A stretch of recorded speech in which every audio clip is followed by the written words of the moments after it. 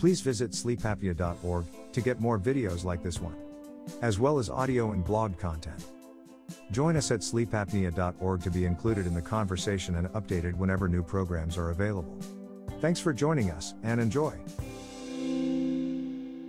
Thank you, everybody, for joining us this evening.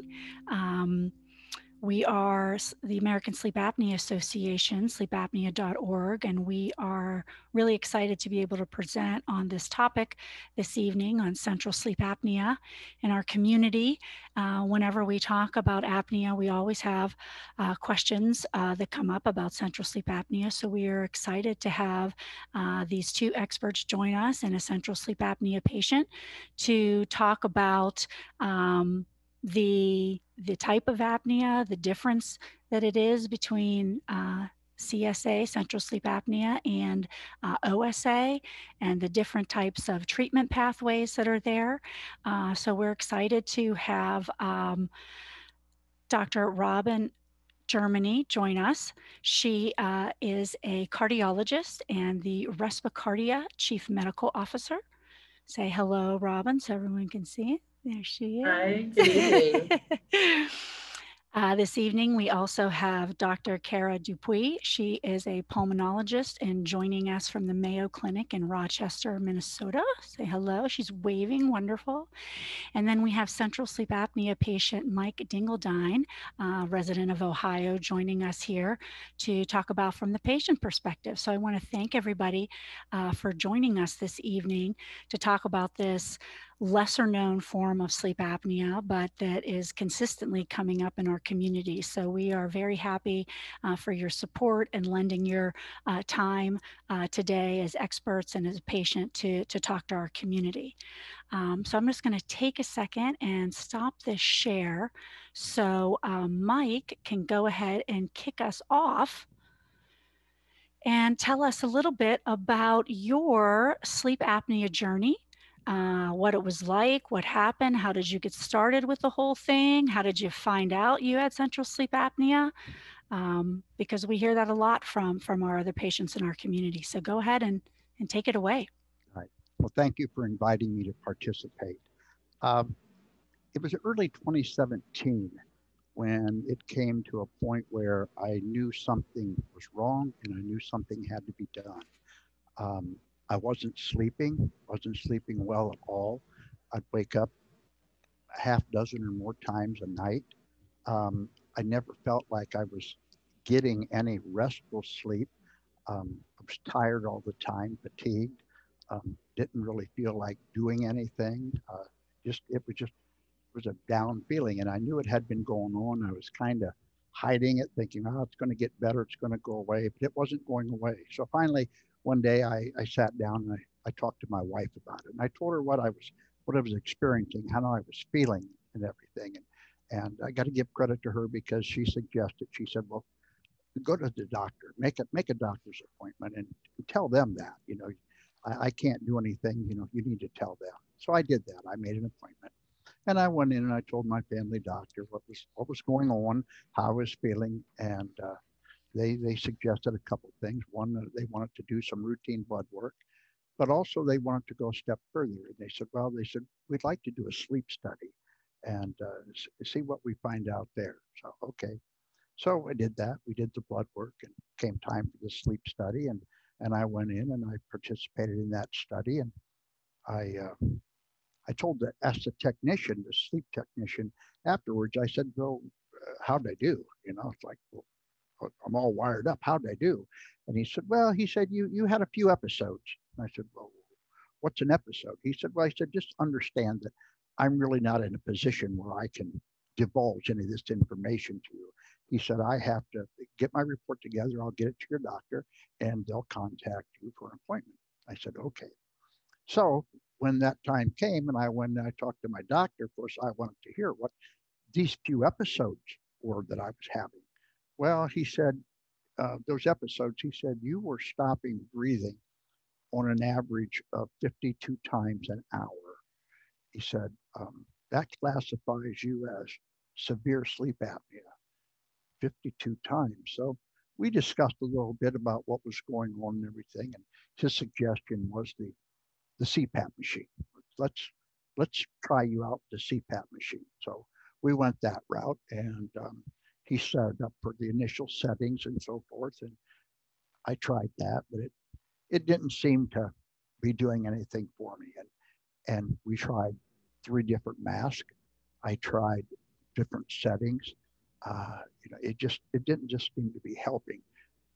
I wanted to ask you a quick, just a quick question. Were, were, did you feel like you were able to use the CPAP machine? Like you were, you know, you could wear it most of the night, most of the days, um, and it just still wasn't really helping anything? Or were you unsuccessful in the, in trying to use it like all Uh, night long? My first thought was, how does anybody sleep with something strapped to their head? Okay. Um, second of all, no, it. Uh, I I I move at night, and um, next thing I know, I had air blowing in my eye, you know, or whatever, waking me up, and I'd I'd be readjusting it, and and then my mouth would drop open. So they suggest, okay, now you have to wear a strap to keep your keep your jaw closed, you know, and things like that. So it it just wasn't working, and and when I was able to wear it for uh, for a number of hours through the night, um, when I'd wake up in the morning, I still never felt that I slept. Didn't feel rested, and um, uh, oftentimes I'd be two or three hours into the night. I'd I'd take it off and just say the heck with it. I'm I'm going to. I'm I'll be okay without this thing. But I knew that in order to do this, this is what I've been diagnosed with. That I needed to to do this. This was going to help me. So I kept trying and trying. Um, time went on, and I struggled with that for two and a half years. In uh, the summer of 2019, um, I listened to a radio station and they were talking about uh, a device for sleep apnea that uh, you push this button and it turns on and you know it takes care of this and takes care of that. So I looked, listened and it was a it was a product called Inspire, and and uh, so I started researching that a little bit. The next time I had a appointment with my sleep physician, I mentioned to him about this, and I had went to I'm in Ohio, and I went to their website, Inspire's website, to find a doctor, and there was a doctor that at Ohio State, which is a couple hours from me, but I I thought highly of the doctors at Ohio State, and so I thought, well, I'll try that. So I talked to my sleep physician about that. Thought it was a good idea. Thought I'd be a good candidate for that, and suggested that. Uh, to his assistants to forward my records to the doctor that I had chosen. So when the time came and I went to meet with that doctor, um, I went in, Dr. Chu at Ohio State, and he came in and introduced, himself to me and his assistant. We talked briefly, and then he went over to a whiteboard. And on that whiteboard, he wrote OMC. Well, I still don't know what OMC stands for, but he wrote zero on under the O, four under the M, and all the rest, and I don't recall the number, I apologize for that, but that was under C. I said, okay, so what, what's that mean? Well, he said, you have zero obstructive. He said, you have four mixed and you're all central. He said, you are, you're all central. Well, and that was from your original sleep study. I mean, that, that you, the records that you had transferred in, over.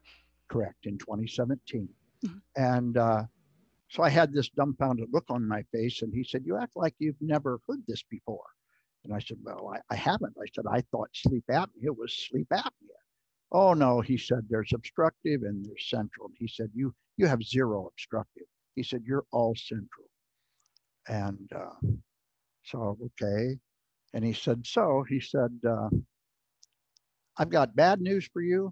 And he said, I've got I've got good news for you. So I'm wondering what's that? Okay. And for those of the attendees that were here in the beginning, that's my cue to bring up the slides. Good job. Good job, Mike. Um, you know, I think that, you know, a lot in our community struggle with the CPAP machine as you did. And, and, you know, they, they, um, you know, I, I get commend you a lot for trying to stick with it and, and trying to use the therapy and thinking to yourself, knowing that you still needed to, you know, it was a condition that you needed to address and that you just weren't giving up because I think that's also an important part of your story because, you know, um, sleep is so important to your overall well-being and your health and, and it is you know it is a little difficult some of the therapies uh, uh, for sleep apnea but um, i commend you for for sticking with it and, and, giving it a good try and seeking out other answers because that's what a lot in our community are trying to do. So all right. All right so let me get the powerpoint up here and then we will go ahead and lead off with dr germany well, good evening, everyone. Thanks again for uh, for joining us this evening, and thanks, Mike, for sharing your story. Um, unfortunately, we we hear this um, fairly commonly um, from our central patients. Central is a more rare type of sleep apnea, and it actually is a is a completely different disorder than obstructive. So, an obstructive sleep apnea, there's a blockage somewhere in the uh, usually in the lower airway, but sometimes even in the upper airway that, that blocks airflow. So patients try to breathe, you know, they may snore, they typically will, you know, kind of jerk themselves awake and then take a deep breath. Central sleep apnea is really a fundamentally different disease. Patients just quietly stop breathing. And in fact, um, although about half the patients may report they snore, what they actually hear are these really deep breaths that come um, when the patient basically tries to catch up breathing. So there's long pauses in breathing, um, at least 10 seconds, but sometimes as long as say 45 seconds, followed by periods of really rapid, deep breathing um, that sometimes can, you know, our bed partners can say, oh, you snore, but that's, that's not really the case. Yeah, we have um, a video on our website that that that is that that big silence and then that huge intake that you know that someone's doing with with trying to catch their breath in their air while they're sleeping. Mm-hmm. Yes. Exactly, and the the arousals even the the uh, going to a lighter stage of sleep actually occurs in central sleep apnea during the middle of that kind of rapid catch up. So um, you know just a really different disease. The causes of it tend to be associated um, with two types of disorders. So, so one is a disorder that causes um, a lot of high levels of norepinephrine or adrenaline. These are typically cardiac type diseases like heart failure or atrial fibrillation or renal disease. Those can be sort of the trigger of central sleep apnea. The other is that it can come from the brain itself. So you could have, um, for example, a stroke or even a genetic form of the disease that comes um, from, from actual damage in the brain where the brain kind of forgets to tell you to breathe. Those two types look a little different on the sleep study, but they're both called central sleep apnea. And just because I know we have a, a pretty large audience here today, central sleep apnea that's associated with heart failure or sometimes even with atrial fibrillation is often called Cheyne-Stokes respiration, which is a specific pattern of breathing that occurs in heart patients with central sleep apnea. But fundamentally, patients just stop breathing. And, you know, obviously, uh, if you stop breathing for 45 seconds, that can cause uh, some stress on the body. Yeah, we've uh, we often hear in the community that it's uh, more focused on you know where your brain is forgetting or you know mm-hmm. telling get telling you to breathe. So it's nice to you know get some more information in regards to um, the cardiac aspect of it as as well. That's important to to know the difference between those two. And so this is just a picture. So when your brain is sending a signal to your body to breathe those signals come from a part of the brain called the respiratory control center. And they send those signals down to several different breathing muscles, including upper airway muscles and intercostal. But the main breathing muscle is the diaphragm. You can see it here. If you take a big deep breath, you can actually feel that's what you feel come down. Um, so everybody take a big deep breath. It's good for you anyway. and uh, that's what you're feeling. You're feeling that diaphragm contract. And in central sleep apnea, there's a delay in these signals coming down from, from the brain so that, uh, so that you just stop breathing. And that's really driven by some of the blood gases that occur overnight um, in the cardiac patients. That signal just gets delayed, almost like a thermostat. So if you think of, um, if you have a bad thermostat, you're always either too hot or too cold. And in central sleep apnea, you're either not breathing or you're breathing too fast. And that's that repeats again and again over the course of the night. We have also talked about in the past um, that, you know, with uh, you know when this diagram is, is perfect because it's showing you know how everything is in your body and when you're not breathing and holding your breath you're actually making putting pressure on your heart you know and kind of in all, all of that area in there. And so it's you know it's taxing all of these other organs besides the fact that you're not breathing and not getting oxygen and all that kind of stuff. But um you know most of us don't think about all of those things during the day but you know uh, everything has its little space in our body. And when it's something is not working or stops working you know it affects everything else around it that's right the pressures from the heart change you know your your hormone levels change some of those things are very well documented um, and, and some we know a little bit more in obstructive than we do in central mm-hmm. and so with each of these episodes so this is just sort of a a diagram of what happened. So again, many of you have heard this from the obstructive literature as well, that each episode is like a discrete event. So you, there, there's a stop of breathing, the oxygen level drops, start breathing, and there's an arousal from sleep. That doesn't mean that every single time you wake up completely from sleep, but you go to a lighter stage of sleep. And that lighter stage of sleep actually is related with surges of norepinephrine or adrenaline is what you know we typically would think of it as and that then can cause some long-term downstream effects it can cause um, obviously poor sleep um, and, and you know trouble thinking we all know what it's like to be pretty, tired um, and this happens every night and typically with central sleep apnea it, it doesn't happen very often that it occurs in a mild form um, typically once this pattern starts it goes on and on throughout the course of the night, um, you know, hundreds of times an hour. So, you know, average patient um, might have 45 events per hour. So if you think of eight hours, then, you know, really tons of these events. And then each of those can cause sort of damage by um, ischemia or lack of oxygen or increasing inflammation. And that then causes overall sort of stress on the body just called increased sympathetic drive, that kind of anxiousness that maybe you feel um, is related to hormone production in the body. We know now that that hormone production uh, can be actually the trigger for central sleep apnea. So the disease itself sort of perpetuates itself because each event can kind of worsen this, this pathway to cause more and more events. And that's why once you start this during the course of a night, it just goes on unabated. So are you saying like a like a little bit more uh, you know your brain is is not only monitoring your your the functions of your body but also you know producing some chemicals and all this other kind of stuff. So that's what you're saying that it has a trigger from that perspective as well. Did I understand that correctly?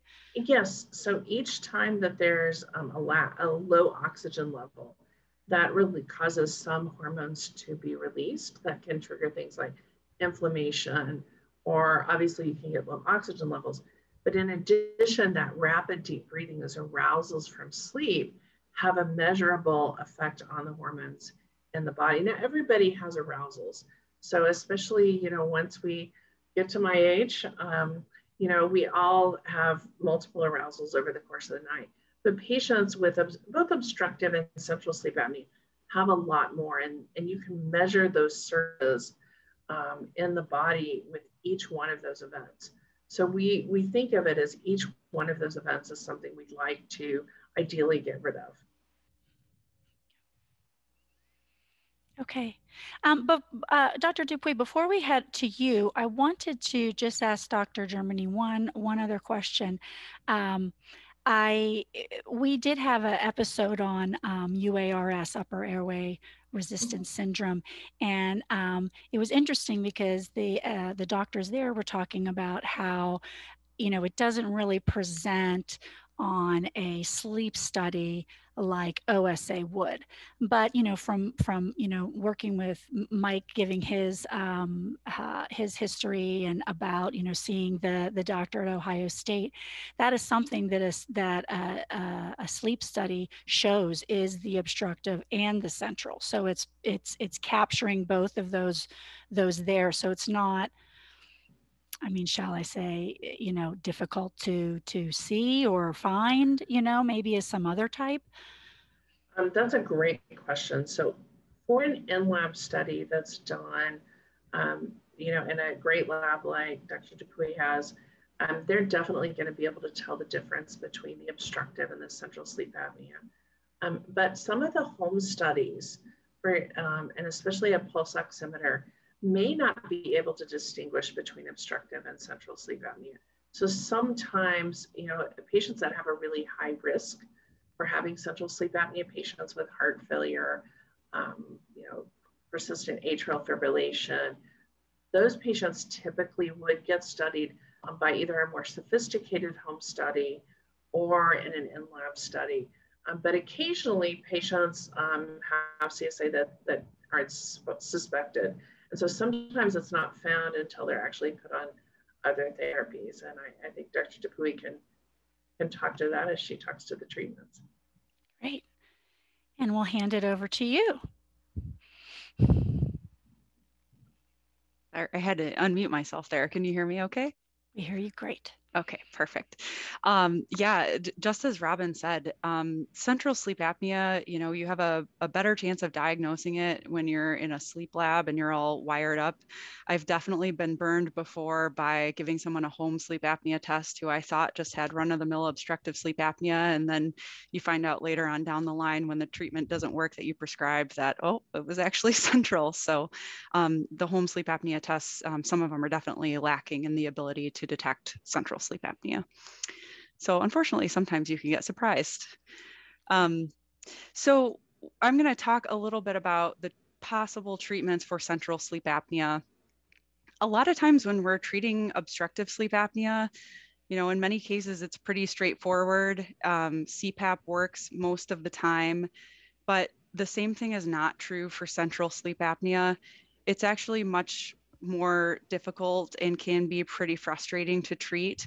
And part of the reason for that is that there is no universal one size fits all treatment. Um, people with can have central sleep apnea for different reasons.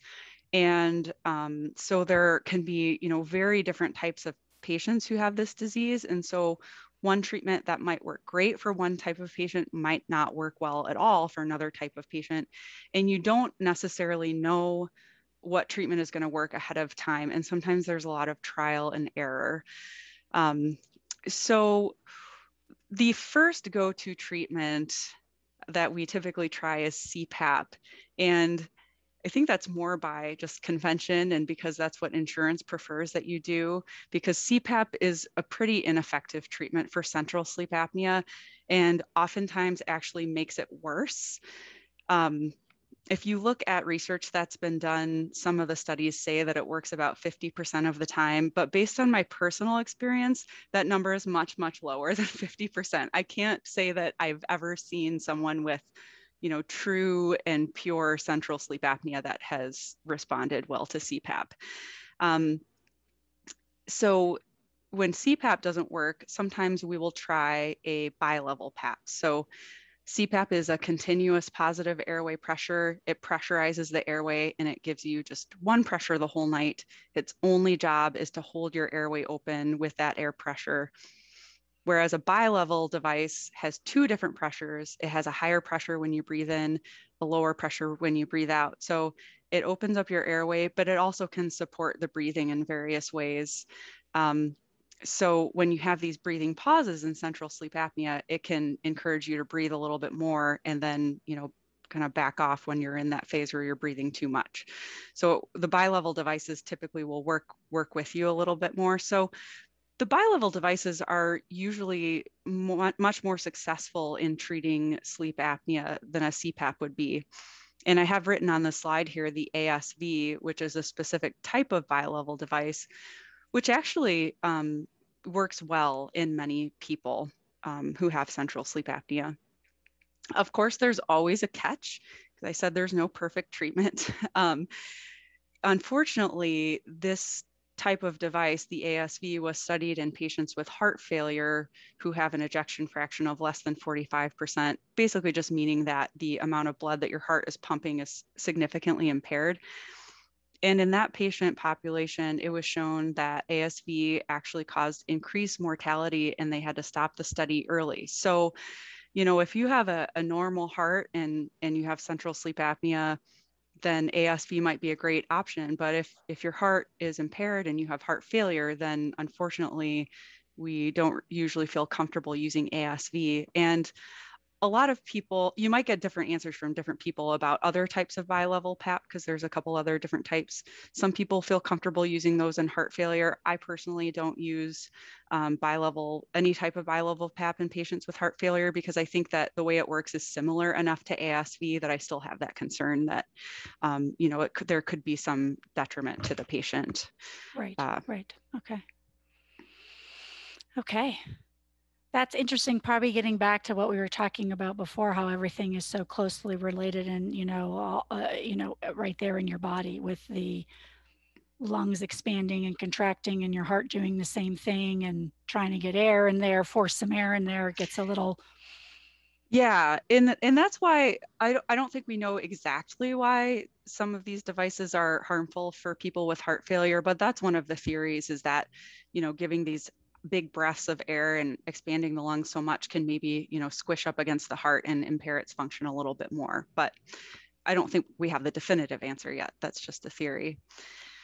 Um, so other treatments that we have uh, oxygen. So this would just be you know putting an oxygen tank in your house next to your bed and uh, you know the little prongs that go in your nose that you might use when you're in the hospital.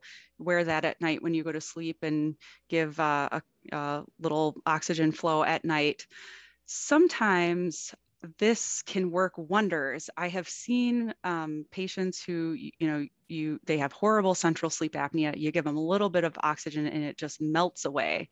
And then there's other patients who you give them oxygen and it does absolutely nothing. you know, it'll it'll raise the oxygen level, but it doesn't necessarily take away those breathing pauses, which mm-hmm. ideally is what we're looking to do. So um, the other thing about oxygen is that we don't have a lot of data about it in research. So while it works really well for some people, and I've had patients tell me that that you know the oxygen has made a huge difference and they feel fantastic, we don't have any research saying you know if it improves quality of life if it has any benefit on the heart function we don't know if it impacts mortality you know if it makes people live longer um, there's just not a lot that is known about the long-term outcomes of oxygen therapy. Um, but appropriate for some people. and then the last thing, or not the last thing, but uh, the last uh, non-invasive treatment for sleep apnea or for central sleep apnea that we really have are medications. Um, just two medications have been studied for central sleep apnea one is theophylline, which is a medication that they actually sometimes use in patients with lung disease and it stimulates breathing. Theophylline has a lot of side effects and a lot of medication interactions. And the um, level, you have to keep it in a really tight range or else it can be dangerous actually. And so this is a medication that a lot of people are really hesitant to use, especially in our older patients with heart failure and other um, health problems, especially if they're on a lot of medications. So um, I've personally never used theophylline with any of my patients because it just has, um, it's just kind of a scary medication to use because of all the side effects. Um, and then same thing with theophylline, you know, it does work, work to decrease the amount of breathing pauses per hour in central sleep apnea, but we don't have any data on whether it's helpful to the heart, whether it improves the way that people feel, um, or anything about mortality or anything like that. Acetazolamide is uh, a diuretic or a water pill. Uh, so it has less side effects than the theophylline, but of course, it still does have side effects and other medication interactions. it does work to lower the amount of breathing pauses that you get with central sleep apnea, but similar to theophylline, we don't know anything about long-term outcomes or there's no research about it making people feel better or live longer um, you know have a positive impact on the heart or anything like that so that has its limitations too right. Were these um, pharmacological options uh, developed specifically for central sleep apnea or were they for something else? Because sometimes you know medications start off in one area of, of medicine and then they kind of you know people find out through research and whatever that it kind of helps over here too yeah, um, no, these were not de developed for central sleep apnea. These are these are both pretty old medications, um, especially theophylline. That's been around forever.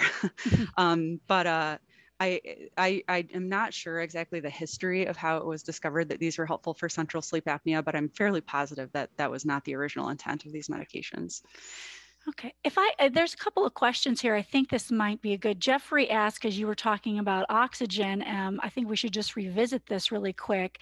You know, would, you know, just using oxygen, won't that be helpful, you know, if I'm, if I'm not breathing? Um, and I think you were kind of saying it depends, it depends of the person. So I'll go yep. ahead and let you. Yeah, so sometimes, um, you know, as Robin was explaining, a lot of what causes central sleep apnea is um, signals that the brain receives about the level of oxygen and carbon dioxide in the body.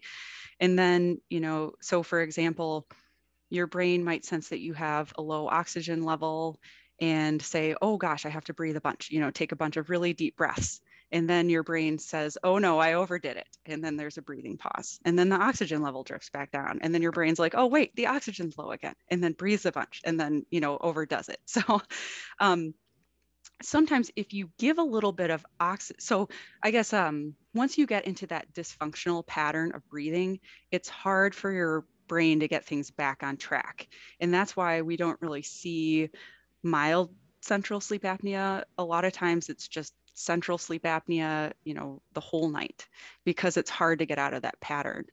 But sometimes oxygen can take away that first stimulus to have to you know to to drive that increased breathing. And so it can stop that pat- pattern in certain people. Um, but you know everyone has a little bit different uh, sensitivity to the levels of oxygen and carbon dioxide. And so for some people giving them oxygen will just take away that that first um, dysfunctional breathing uh, pattern kickoff and you know keep you good for the whole night. And some people it just doesn't work. And there is some advantage um, sometimes if you're having all these breathing pauses and your oxygen's going really low you know there is some advantage to raising the oxygen level up. But um, the consequences to the heart are not just from the oxygen level, some of it is from the breathing pause itself and these wake ups that you get as a result. So simply raising the oxygen is not usually enough to, um, you know, to take away the whole problem. Right. And so um, can can we just revisit because we also had a question from Karen about you know mild CSA, um, um, often with the obstructive sleep apnea uh, um, community. You know, people say mild, moderate, severe. Is is it similar? And this is to you or, or Dr. Germany, whoever you know is is comfortable answering. Is is there this different levels? You know that an uh, a patient, an individual can be in in regards to yeah, I mean, you you you can classify it like that, but whereas in obstructive sleep apnea there's a lot of research about you know this many breathing pauses per hour causes this cardiovascular risk you know? And in central sleep apnea we it's just not that way. We don't have the level of detail about you know how many breathing pauses per hour is going to cause what sort of um, you know health consequence. Um, and so it, it's just a little bit uh, of a of a gray area you know and it, it's harder to make these distinct distinctions you know because in, in obstructive sleep apnea you say well if it's in the mild range you know we don't associate associate that with heart failure and you know things like that. But we don't really have that in central sleep apnea. So um, you kind of have to take into account too the reason why the patient has a central sleep apnea. You know, do they have really bad heart failure? You know, is it coming from a medication that they're taking?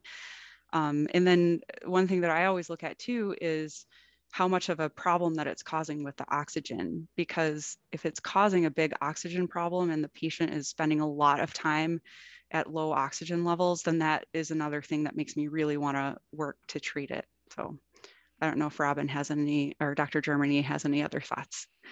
No, I thought you did a great job there. okay. Um, so this brings us to uh, phrenic nerve stimulation, which is another treatment option for central sleep apnea.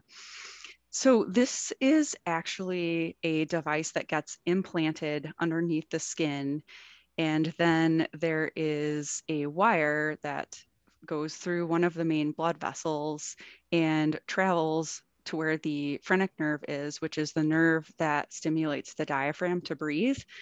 And um, this uh, implant sends stimulation to the nerve so that the diaphragm comes down and you take a breath. Um, so, you know, whereas uh, like a BiPAP would give you a breath with positive pressure, this takes that pressure aspect out of it and just causes the diaphragm to contract and create a breath in that way. But the concept is kind of I was just going to say, and since there's no obstruction, by lowering it, it you're you're then inhaling. Is yeah, what's happening. exactly. It's creating a little bit of a vacuum, and you're inhaling, and you don't have anything going on with your nose or in your throat. So it's mm-hmm. just those functioning. Correct. Yep, exactly. So when you're having you know one of these breathing pauses it can stimulate you to take a breath and then when you're you know not having the breathing pause it can kind of back off um, and help to smooth out that breathing and this product, um, you know, I mentioned before that sometimes patients with heart failure and, and reduced heart function, it's hard to find a good treatment for them because all you really have is oxygen and medications, and that's that doesn't work for everybody. Um, so this is a, another good option for someone, especially who has you know, heart failure, they can't use a bilevel PAP device. You know, oxygen and medications haven't worked as they don't in many people. And um, this has been shown to increase quality of life and make patients feel better, which is important in addition to treating the central sleep apnea and, um, you know, might also have some positive uh, impacts on, on the heart function as well.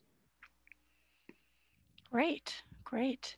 No, I mean there's there's there's innovation um, coming all the time in all areas of of apnea. I mean, now they're moving towards with you know helping uh, masks as as Mike was saying before are uh, a big issue for the CPAP machines, and now they're kind of moving towards you know helping taking pictures of your face, finding the best mask for you, so on and so forth. Different um, pharmaceuticals are coming up. You know, as you you know even though those older those are older medications that you were talking about before. There's still some other things, you know, in the work. And then, you know, in the last uh, several years, the implant devices that, that are coming up for a variety of, uh, of, of treatment options. So, you know, things are, things are changing, which is good to be able to give patients, you know, some, some options in, uh, in, in their treatment.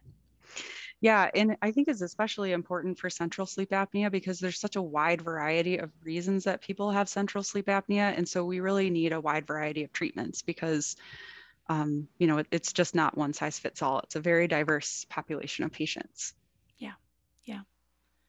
So I think um, we're going to go back to Mike. Mike, are you there? I am. I'm going to go through these two slides here. And then I'm gonna bring you back and hopefully you're there. There you are. Okay, so thank you doctors for your information. We have a lot of questions. I'm trying to like go through them all. We'll, we'll get some of them more, more of them at the end, but we'll let Mike pick up his, uh, you know, patient story from he's he's at the doctor at Ohio State, right? This is where you found out you had central sleep apnea versus some other type. And um, where did it go from there? Did you try uh, uh, an ASV machine or a BiPAP, or how did that go? Okay, well, Dr. Chu said that he had bad news for me and he had good news for me. Uh, unfortunately, his bad news was he said, I can't help you. Because I had been there to check out Inspire. He said, Inspire is only for obstructive sleep apnea. It won't do you any good. He said, you, You're all central. He said, So I, I can't help you. Hey, buddy said, I do have a colleague here at Ohio State, Dr. Augostini, that works with central sleep apnea. And I think he might have something that would, would help you. He said, So if you would like, we'll forward your records to him and uh, they'll contact you and set up an appointment. So it all sounded good to me. So we went home, waited for a call. A couple weeks later, we got a call. They set up an appointment. And I went in and met with uh, Dr. Augostini's assistant, Julie Meese. And she explained a little bit to me about what was going on with my central sleep apnea. And um, she mentioned a device called the Remedy System. And she explained to me a little bit about what that was and, and everything and asked me my interest in that. And I thought, well, this is, uh, this is finally what I, I think I'm looking for. I said, I said, if this is right, this is a no brainer. I said, so what do I need to do? And she said, well, the first thing we'd like to do is to do more recent sleep study. She said, your sleep study was 2017. We would like to have a current sleep study just to make sure that you meet the criteria for the remedy system and so forth. So we agreed to do that. I underwent the sleep study. And now my um, episodes went from 52 an hour to 57 an hour. So in that three years almost, it had progressively gotten worse. So based on that and what we had discussed, I said, I think I think we want to proceed. So what do we do now? Well, she said, take your insurance information and we'll we'll file that with the insurance company and make sure that you know it's all taken care of or whatever, and we'll let you know. So just go home and you'll hear from us. So it's about three weeks later, and uh, hearing from others, unfortunate, it only took three weeks. But um, they said, okay, you've been approved for this and we've scheduled you for January 9th of next year, which was last year, 2020. Okay, so what do I have to do? Show up. That's all you have to do. Okay. Did you use a Did you use a therapy in between? I mean, because obviously you had to wait a while. Um, did you try to stick a little bit with the CPAP or I, anything? I still had my CPAP, but what I understood her to say and what I found out later that the CPAP machine doesn't communicate with your brain. And your CPAP machine isn't telling your brain to tell you to breathe. So it was kind of whatever. You can keep trying it if you want, but uh, you know it's it's you don't have to. You do what you want to do. So I, I tried it for a little bit, and then no, I thought, well, we're going to go to this other route. We're going to go with the remedy system. So on January 9th, I went in. It was an outpatient surgery. Um, I was there at six o'clock in the morning. The operation took place about 7:30, and by four o'clock, I was back in the car heading home. Um, it went. I thought it went well. Um, it it was not turned on yet. That would be four to six weeks later. It had to heal, but in the meantime, it was collecting data on how I was sleeping, how I was positioned, right, left, back, whatever, what time I went to bed. It was collecting all this data so I went back on February 24th of last year and they activated it. And um, I've been back several times since then. And they, they optimize it, tweak it, whatever you want, tune it up, whatever you want to call it.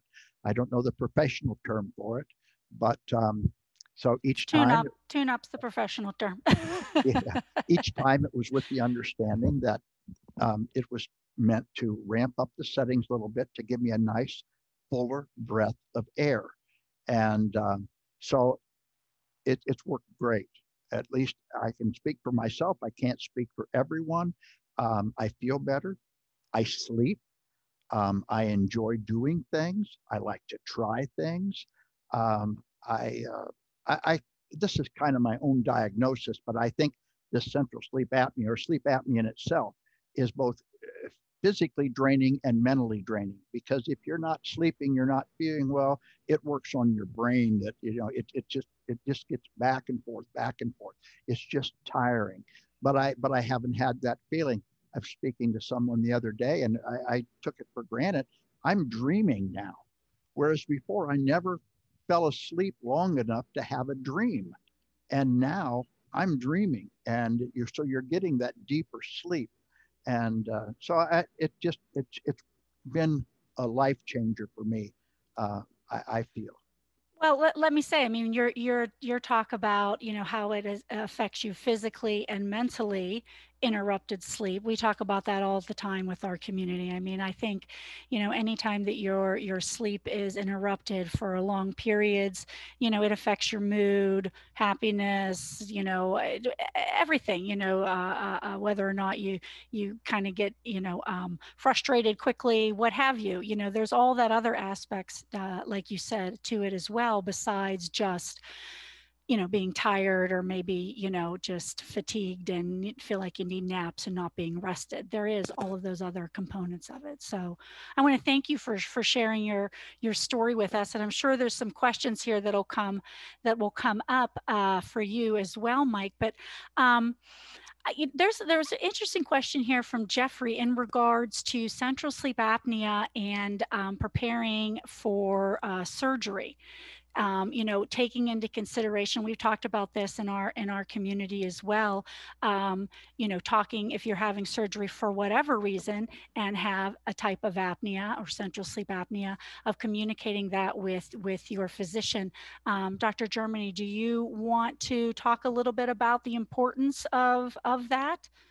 Yeah, and I'll let um, Dr. Dupuy uh, weigh in as well. You know, I I think this is often, I, I was with a physician today who said this is how he diagnoses it, that he sedates his patients and then he can see them stop breathing with just very mild sedation and that's it. I, I, I told him I hope he tests them before, but, but he said it's really obvious to see that these patients, and that is a little scary, you know, in a lot of cardiac procedures, we use mild sedation. And if, if, if people aren't aware ahead of time that you have either obstructive or central and you're undergoing a mild or moderate sedation without an anesthesiologist there, um, that's, that can be a little more complex. So I do think it's really important um, that your physician, whoever's going to give you um, anesthesia, knows about your sleep history. And, and I don't, I assume you guys probably have a protocol, right, Dr. Dupuy? Sorry, I had to unmute myself there. Uh, um, well, yeah, we we do. It depends on um, the nature of the surgery. I mean, everyone who's referred for bariatric surgery, for instance, has to have a, a sleep evaluation because the instance of sleep disordered breathing is so high. Um, and I, I, guess I'm not totally familiar with, um, you know, how they decide who gets referred to us, but we definitely see a lot of um, pre-procedural and pre-operative um, visits. Great, great. Yeah, I think that that's really important. We we did um, the, the, American Sleep Apnea Association did a, a, a, video on you know preparing for for surgery. Um, I, uh, uh, Mike, we had a um, question that since you've had uh, the uh, device um, in, uh, implanted, have you had any um, follow up sleep studies? To see how it's going? Is that part of the uh, procedure as well, or the follow up, the uh, tune up, so, so, to speak? I had a follow up study in October. Um, I never found out what those numbers were. Um, the next appointment I had, they said I not as not the apnea events, but the hypo apnea events or whatever. Um, so they were tweaking that again to do that. I have um, next Friday I am actually going to Columbus to pick up a sleep study machine and do it at home. Um, they, uh, I thought, you know, if, if I was doing a home sleep study, that I could go to the local hospital and get one they said no, that they had machines that were specially, you know, uh, calibrated, whatever. They wanted me to use their machine. So I'm driving to Columbus, picking up a machine, learning how to hook it up, whatever, and then driving back home and have to take it back on Monday. Mm-hmm. So yeah, okay. so I'll, I'll, be doing that then. So hopefully the numbers pan out. I, I sure feel good um, as far as my sleeping, and so I hope that that that proves out in those numbers. Great, great. There was a question here about um, neurofeedback, maybe one of the doctors, neurofeedback to retrain the brain uh, as a way to treat central sleep apnea. Is it, are either one of you familiar a little bit with that? Put you on the spot? I no, I haven't seen any literature on it. Um, it it's, it's an interesting phenomenon. Um, there's been a little, there was a little work done um, in yoga breathing for patients that have daytime. Um, so for heart failure patients, this breathing pattern can actually happen even while they're awake um, for very sick patients. And there was some yoga breathing that was done for those patients, and patients did better with the theory here that there's some feedback into the brain. But that's the only data that I've seen um, looking at that. So, so there, there might be a way to do it, but I, but I haven't seen any recent literature on that. Okay. Okay.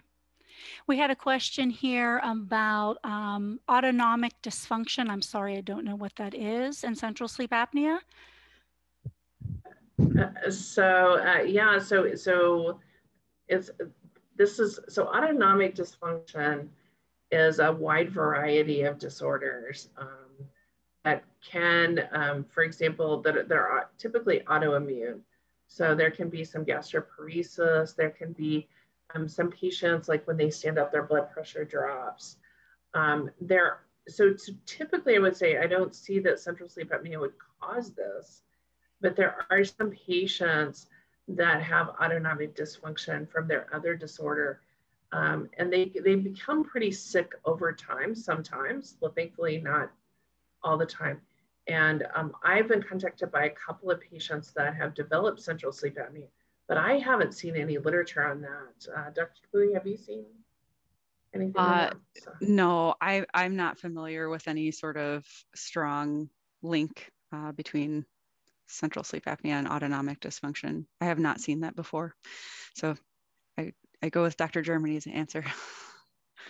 There's a there's a lot of questions in here where individuals are talking about using their machine and and having leaks and you know and and trying to work through um, you know wearing the mask and making it through the night with the machine so on and so forth. So I'd like to take this opportunity to you know let all of the attendees know that um, the American Sleep Apnea Association has a free over the phone uh, peer to peer support support program. So um, you are um, you join the program and, um, and then you get set up with a peer mentor who you talk with over the phone that can help you with all of these different types of things going on with your machine. So, you know, leaks and, and, and gurgling and, and what all these buttons do on my, you know, my machine and changing the humidity and all that type of stuff. So if you're having issues actually, you know, with the, the one of the PAP devices, um, we can help get you a peer mentor that um, can help you work through that because we all know with COVID, even though you are seeing more patients in the office, sometimes you're, you know, not able, to, doctors aren't able to get through all of those questions. And, you know, we find experienced mentors in our community, you know, that have been successful with their PAP therapy and can, can help you through that and can get you over those hurdles to, you know, to stick with the therapy. So hopefully that will help some out there that are that are um, working through those types of issues with their machine. Um, let me see what else we have here. Um, people talking about night sweats and heart triggers with exercises. Um, someone was here saying that um, when they started um, Prozac uh, in regards to um, working with their obstructive sleep apnea, they had had mixed. They had obstructive and, and, central, that that kind of helped them with their breathing and get their central episodes down. Anything with with that type of, uh, of medication?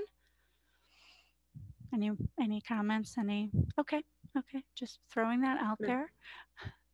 I have not used that in the past, but um, uh, Prozac and medications like it do alter the sleep architecture. So the proportions of REM sleep and your dreaming sleep and non-REM sleep. And um, one of the things that they do is they decrease the proportion of REM sleep. So if you are a person who has more central events during REM sleep, I suppose it would be theoretically possible to alter the amount of, of breathing pauses per hour that you're having. But this is just me uh, hypothesizing. I'm not certain of any actual literature about it. I don't know if Dr. Germany is. okay. Okay. Um, and then we wanted, someone wanted to know um, with Mike, with your uh, device, is there any noticeable um, bumps or anything on on your, I assume it's kind of up here on your upper chest area? I've been asked that question many times. And um, I, I, would think that someone has to look hard to see that on your right side. Um, it is not grotesque, it does not protrude um, none of that. And I, I, use the analogy that um, children, my grandchildren, four of them, um, they see everything. They don't miss a thing. And when we went on vacation in the summertime, we go to the lake or whatever, you know, no, none of those grandchildren ever look at that and say, Grandpa, that's where you got that thing, isn't it? You know, they they don't notice it now. I don't think they're just overlooking it because they notice every they'll notice a, a, you know a little scratch on your arm or something but they don't notice that. It is not detectable. If i wear you know this shirt you can't tell that there's anything underneath it and it's not a loose fitting shirt. So that's really not a concern. And and even the little bit that you would know that it's there because it's in you okay the good far outweighs the bad. And if the bad is being able to tell where that is in you um, you know, the good is that it's working. You know, that's that's my thought. There's a, there's a question here in regards to CPAP use, long-term CPAP use um, causing central sleep apnea you know maybe bringing me because the the machine is i guess kind of you know helping you all night long and so your brain maybe is relaxing a little bit and saying hey i don't have to do these things anymore. Got some help here. Um, certainly that can happen um, and you probably have seen that some more often in your clinic than than we see patients with that. Yeah so um, the data on treatment emergent central sleep apnea um, so, you know, people who have obstructive sleep apnea and they start on CPAP and then they develop central sleep apnea. The theory, or one of the theories on why that happens, is that maybe these people are, are a little bit more sensitive to, you know, the changes in in carbon dioxide that and oxygen that come with initiating CPAP, and that kind of sets them off on that course of dysfunctional breathing. Um, central treatment emergent central sleep apnea has several different courses. For most people, it will go away on a period of weeks to months. Um, for some people, it never goes away. And then there's also another subset of people who don't have central sleep apnea when they're on CPAP at first, but then it develops later. Um, and I don't know exactly what proportion that that happens in, and I don't think that that we know exactly why it happens either. Um, but there are a lot of cases too, you know, if you've been on CPAP for a long time, you know, you're living your life, other things are happening. And I've definitely seen many patients who, um, you know, maybe they developed AFib and now they have central sleep apnea while they're on their CPAP, or they develop heart failure and now, you know, so something else happens with their health. I don't know that I would say that the CPAP is giving you the central sleep apnea, but it is true that if you're very very sensitive to these little you know changes in oxygen and carbon dioxide that the cpap you know initiates then then you know you could develop it. I don't know if that answers the question Yeah, there is a question here about um, I'm not I don't know what MIs are and strokes occur when sleep apnea is present and untreated. Can you explain simply, please, the mechanisms of how MIs and strokes occur when sleep apnea is present and untreated? Well, I'll take a stab and then I will uh, pass it over to my colleague. Um, so, so each one of these episodes causes um, hypoxia. And if you already have a blockage somewhere, either in the heart, and hypoxia is just low oxygen levels, right? So if you have a blockage in your heart or in your brain and the oxygen level drops, it can drop below that critical level that would cause you to have um, a little bit of damage.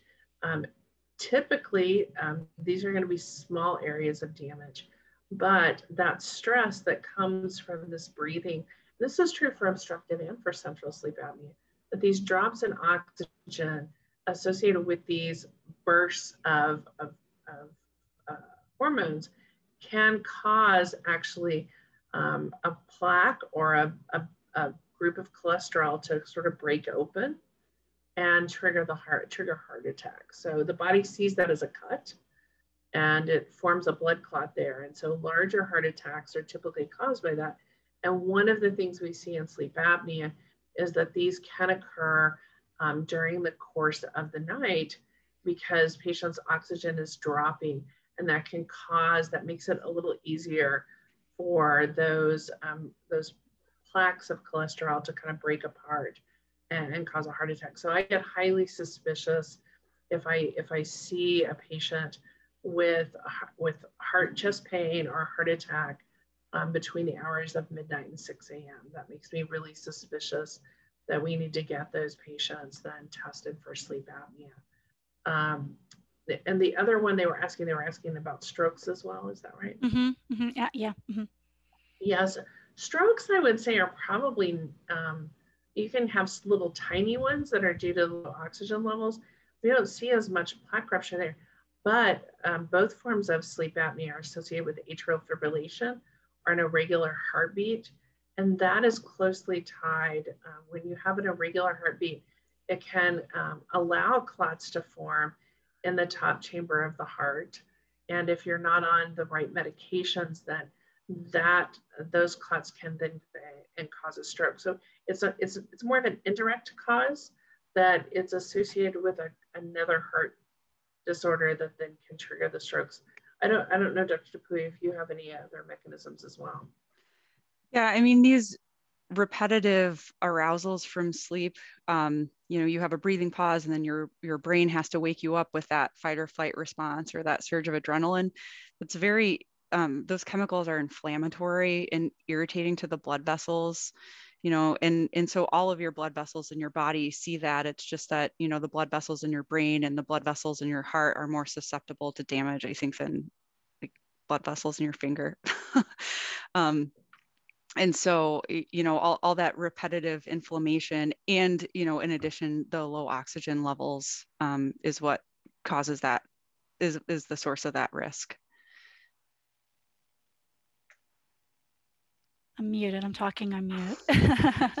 We're coming up on almost an hour, so I'd like to just finish out with with just maybe two more questions. Um, so. Uh, Dr. Dupuy, can you just talk for a minute about, there were some questions in here about, um, you know, AHI and, and um, I, I, want, I hope I say it right, hypopneas, um, and kind of, you know, what, what, what's the difference between, an, I guess, an apnea event and a hypopnea and kind of, let's, let's just talk about that for, for a minute and do, uh, and that it's the same measurement used for OSA and CSA?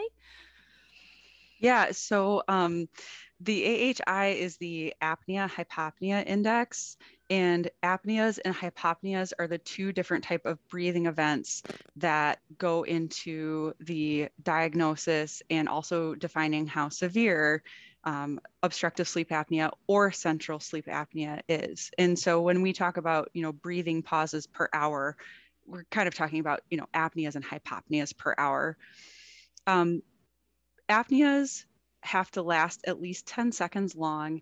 And if you're looking, you know, studying a patient on the sleep study, the airflow has to decrease by 90%. So it's pretty much a total breathing pause that lasts at least 10 seconds.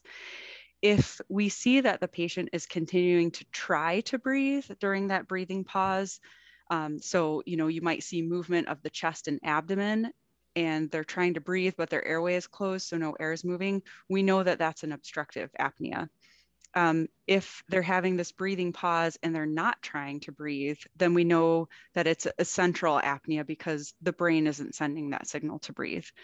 Um, and then for a hypopnea, there's a couple different definitions of hypopneas um, that are out there, but what what we use in our lab is that it has to be a, again a 10 second period where there's a reduction in airflow of at least 30% and then that has to be associated with the oxygen going down by four percentage points. Um, and so similar to apneas hypopneas can also be obstructive or central.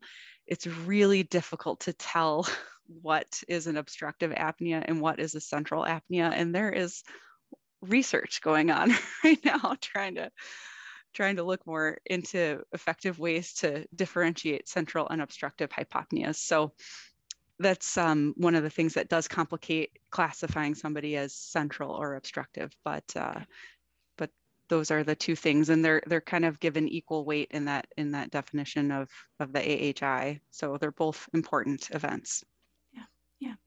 And let, us let's, let's round out with you, Dr. Germany. Um, you know, can you impress upon our audience here, you know, how important it is to to get diagnosed and get on a treatment plan and find a treatment plan that works for you how important that is to you know your overall health and well-being and yes i think you know sleep is so important to every aspect of our lives and i think the more that learn and in sleep research the more we realize that that it's it's vital to to how you think to your mood to uh, active, to having a healthy heart and a healthy brain, and probably a healthy stomach, but I don't deal with that that much. So, um, but but sleep really affects all the aspects of our lives, and so making certain that you know what if you have a sleep disorder, what that sleep disorder is, working with a physician who's a going to listen to you, and then really working to find the right treatment for you, regardless of whether you have central or obstructive or or any of the variety of other sleep disorders out there is, is really important. And don't give up.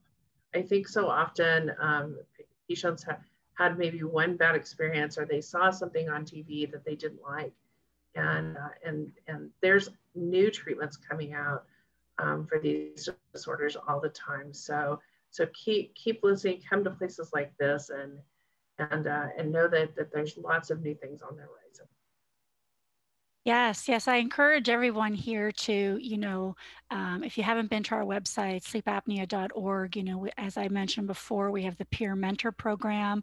We also have a CPAP assistance program, which we do have, um, you know, a couple handfuls of ASV machines. So if people are, you know, uh, have uh, really high deductibles or financially, uh, you know, in, in a bind to be able to get one of those machines, we're able to to to help help with that. So there's resources out there, um, you know, and just as Mike uh, described in his, um, you know, in his story that, you know, he started off seeking one device and ended up over here on another. And, and, you know, that that's a lot of our community. And that's, you know, and that's why we're here all together talking to each other to, you know, share our stories because um, everyone's is different, but I can also guarantee that you're very similar to somebody else that we have out there. Um, so I want to thank uh, Mike and Dr. Germany and Dr. Dupuy for joining us uh, this evening. Thank you so much for your time and your expertise and sharing your story.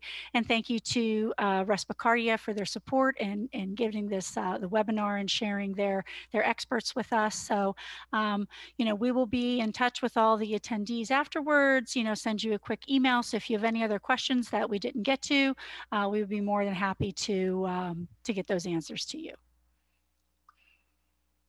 Anything else, anybody, before we call it quits? Thanks for having me.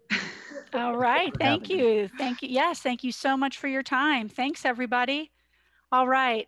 Thank you, everybody, for joining. Have a wonderful evening. And uh, we'll have this video up on our uh, up on our website and on our YouTube channel as well. So if you missed anything, you can go ahead and take a look at it there. Thank you for joining us today. Be an awake angel and you can help those financially impacted by COVID-19. Just $50 can provide two CPAP masks to someone in need. Please visit sleepapnea.org/donate for details.